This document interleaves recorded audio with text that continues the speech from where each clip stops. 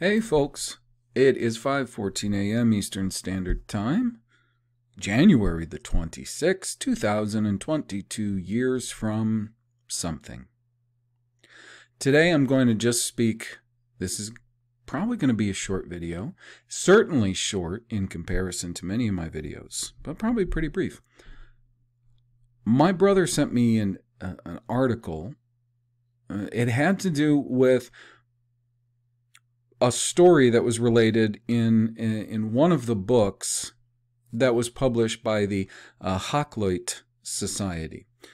Um, and this is important. They're important. They're going to they're going to play a, a, very key role in this. And uh, let's just say for anyone who's been studying um, or watching those people who purport to study alternative history and, of course, have been inundated with this Tartaria narrative. Know this that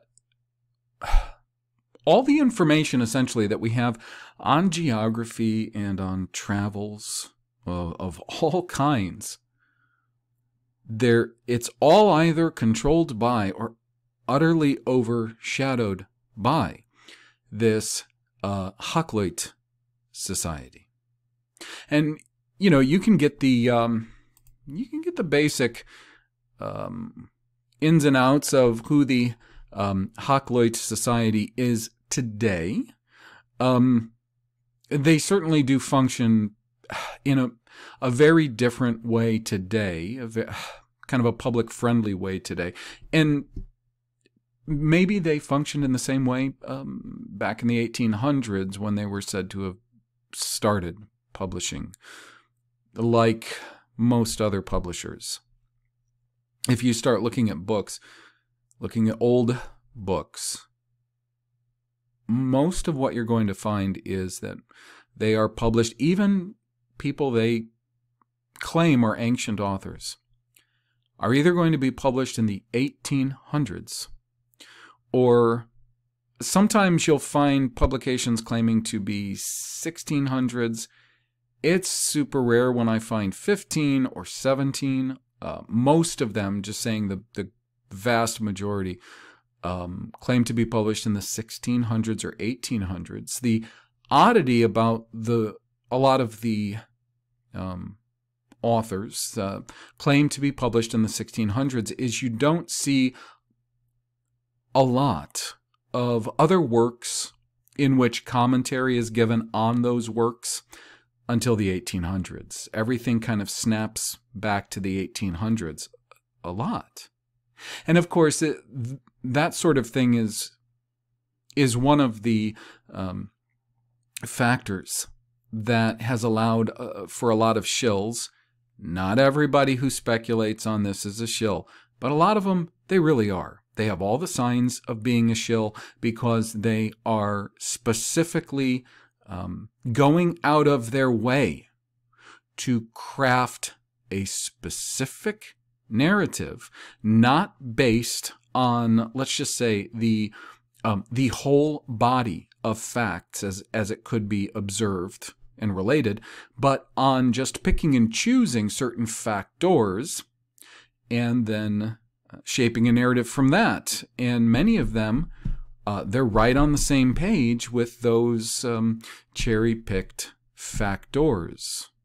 Um, I mean, there are some people in alternative uh, research that I don't really agree with on their conclusions, but at least these people aren't going along with, the um, what's become the mainstream of alternative history, geography, so on and so forth research.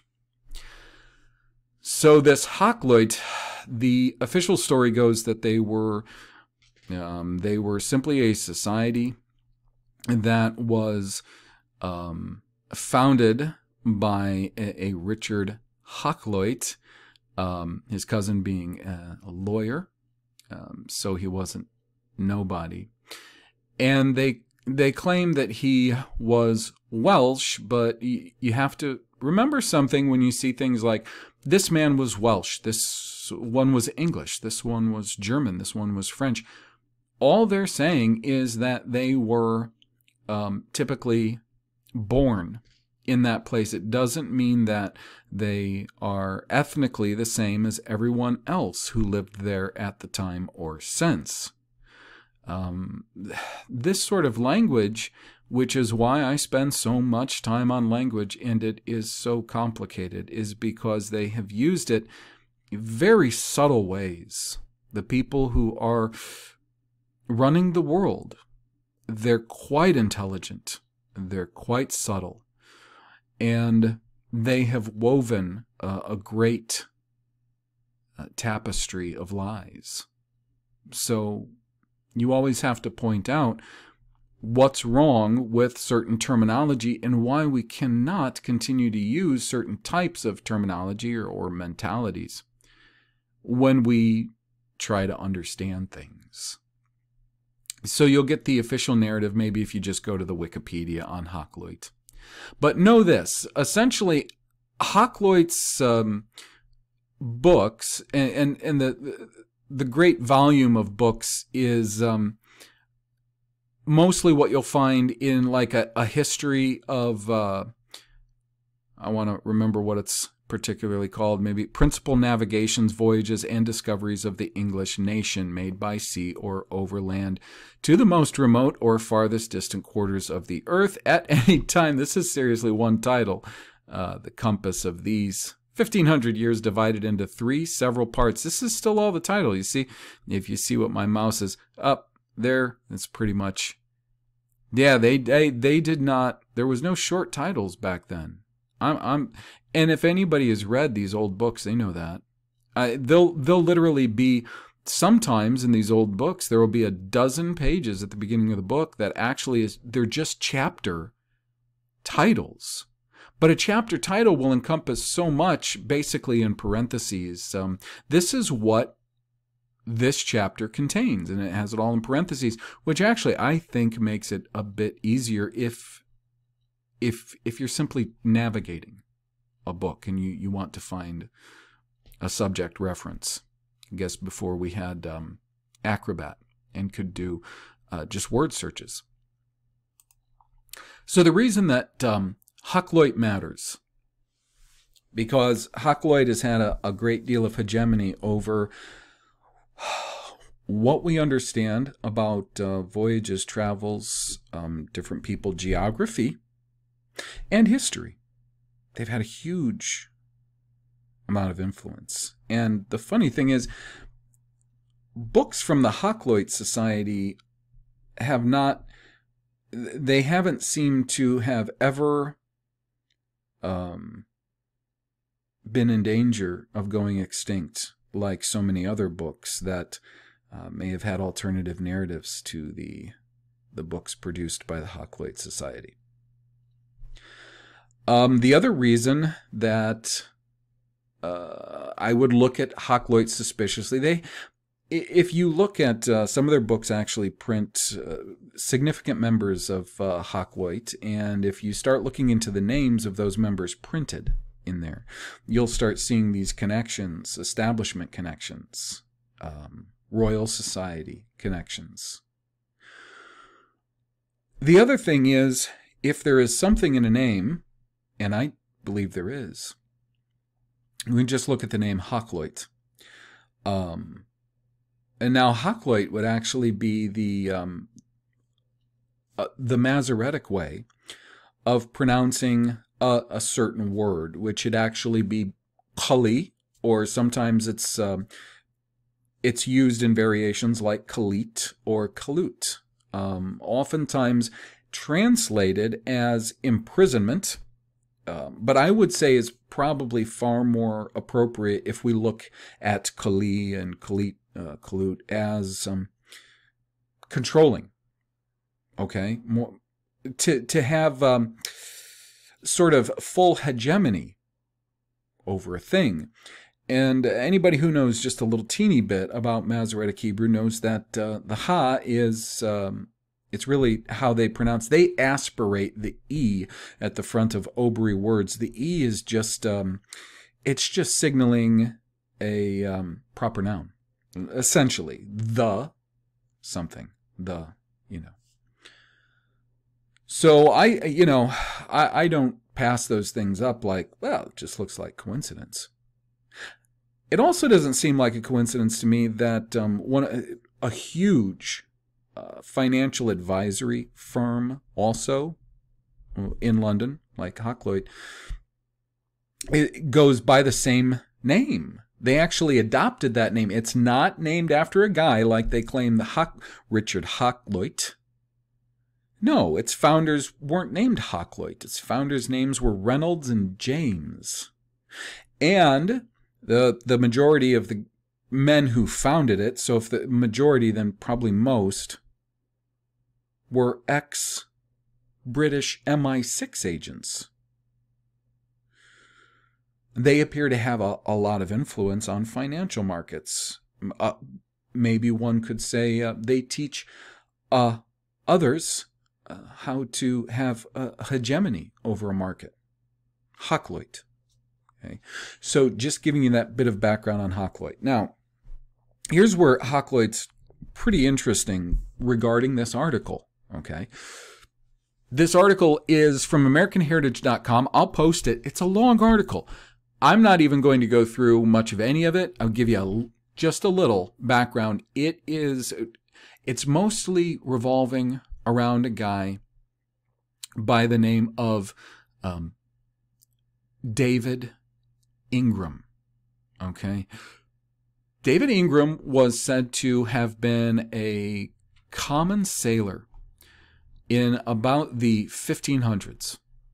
And he was said to uh, have been on a, uh, a, a, British naval ship uh, as part of a small fleet, going back and forth to what would have been right the West Indies at the time.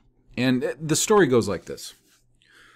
So he's part of a small fleet, and this small fleet uh, apparently got into a, a little bit of a tussle with some Spanish ships and um, though they were sailing uh, towards Veracruz, so it's about the middle, uh, the middle of the uh, the Mexican um, isthmus. um, so between Yucatan and I guess you would say, let's say like the southern coast of um, Louisiana, Mississippi. So figure between those two points, you know, it would be right uh, about the middle. And what they say is um, they had ships damaged. They loaded everyone onto one particular ship, and um, they they got all turned around or something, and ended up in a different place than they they had thought. A number of the men volunteered to go ashore and try to to walk somewhere. A lot of it sounds really dicey. Just that part of the narrative just sounds very weird. And then when you consider where they said to have put down, now a lot of reports say that they actually um, docked and let those men out at a point that was far to the south of uh, Veracruz, and which would have made because what happened was this um, this David Ingram was said to have walked um, really the breadth of America, sort of uh, south to north, pretty far north, like New England north, um, over the course of uh, a, very short time. Now, they were missing for, let's see. Yeah, okay, I'm sorry. I had it highlighted, but this highlighting program that I'm trying out, Snippet, just erases my highlights. They keep what I highlighted in like a little snippet um, cloud, but it it doesn't really help me because it's all disjointed. I like the highlights within the context. Anyways, um, so he disappears for a certain length of time, and then all of a sudden they find out that he traveled from what they first thought was a point south of not Veracruz, I'm sorry, Tampico, south of Tampico to up almost near um, Nova Scotia. And he was supposed to have done it in this very, very brief time. And that was one of the highlights I had that I can't find just off the top of my head. I'll post the article. Here's the interesting part, right?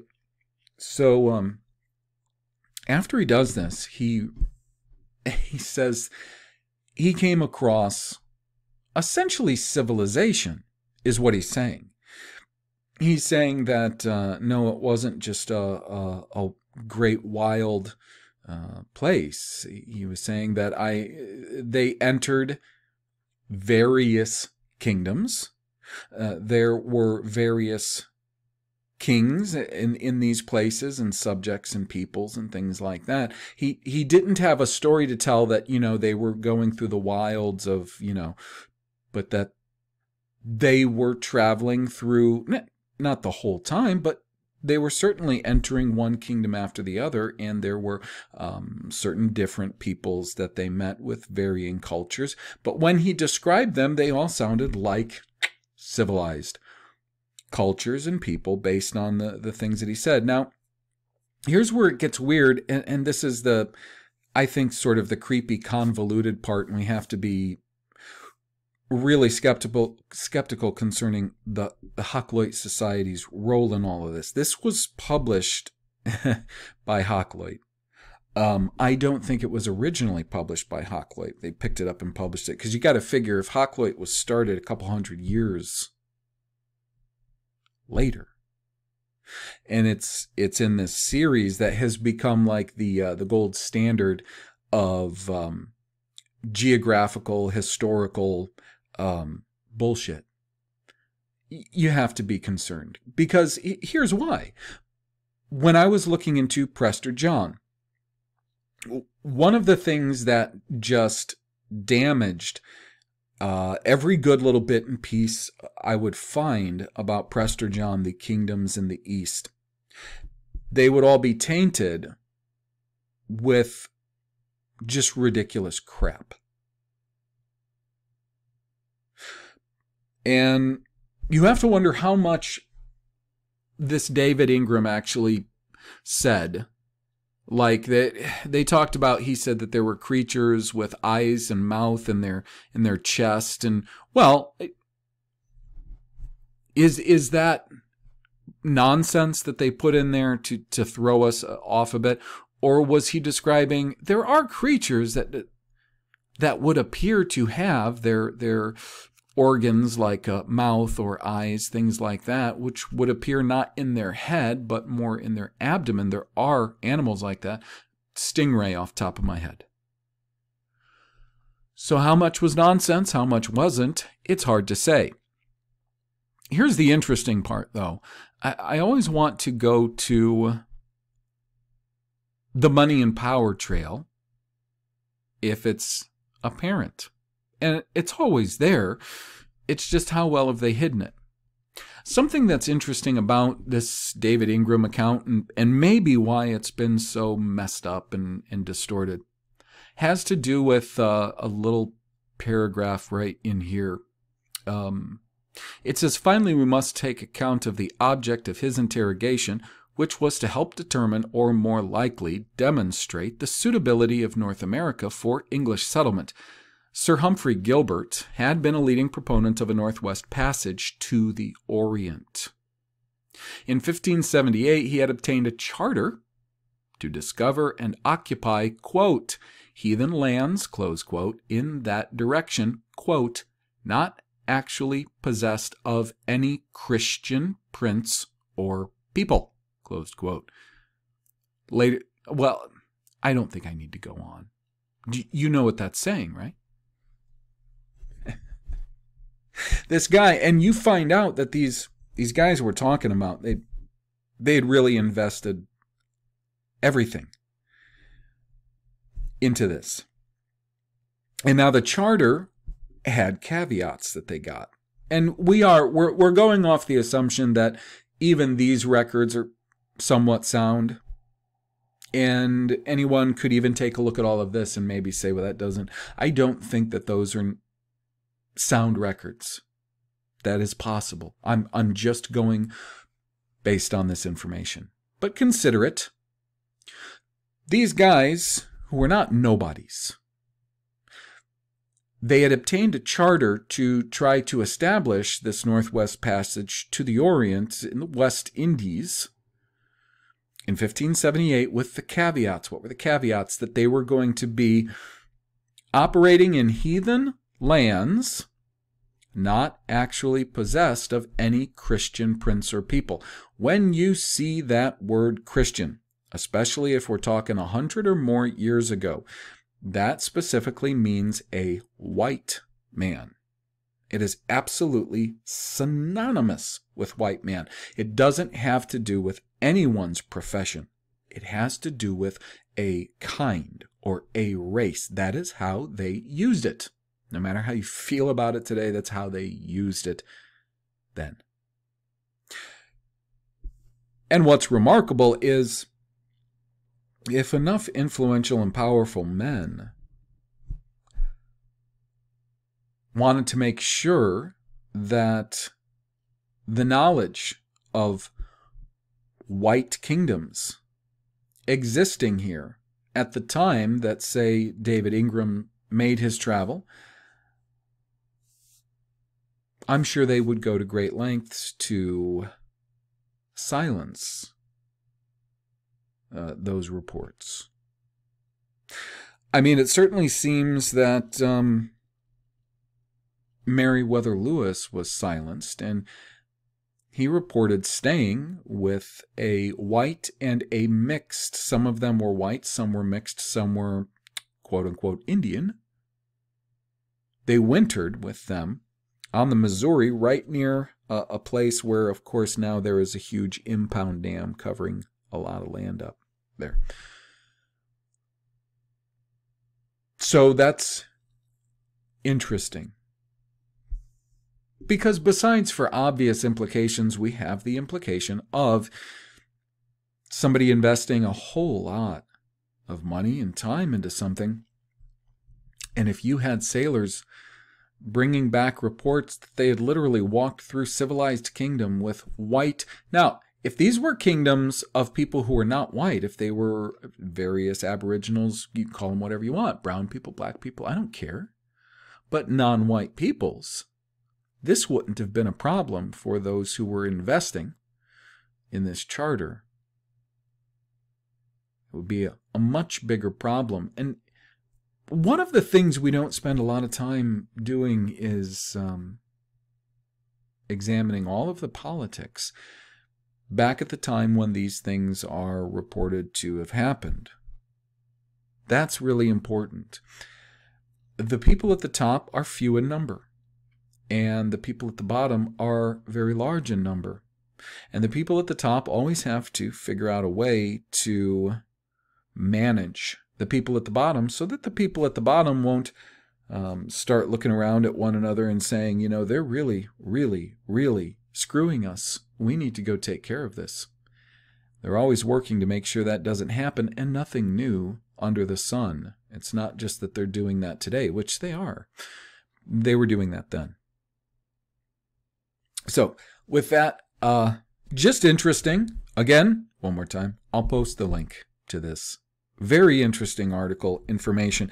And the uh, the Hakluyt book that the that this account can be found in depending on the um, I'm sorry depending on the edition that you get because there is information in here that they did cut it after the first edition.